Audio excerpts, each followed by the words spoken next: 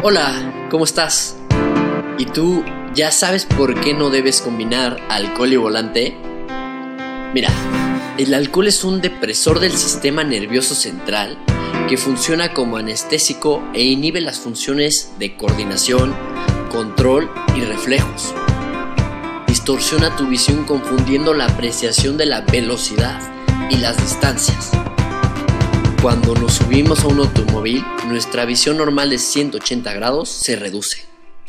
Y cuando bebemos, se reduce aún más, pudiendo llegar a visión de túnel. Recuerda que la vista es una herramienta vital al conducir. El alcohol produce sueño y fatiga disminuyendo tu capacidad de reacción. Un 25%. Sin importar la cantidad de alcohol que consumas, cuando manejas tomado, te expones a riesgos que pueden dañar no solo tu integridad física y moral, sino que también la de tu familia y amigos. Si vas a manejar, no tomes. No permitas que tus amigos manejen si bebieron y tampoco te subas al coche de alguien que tomó. Toma taxi seguro, llega a casa, te lo decimos como amigos. be sack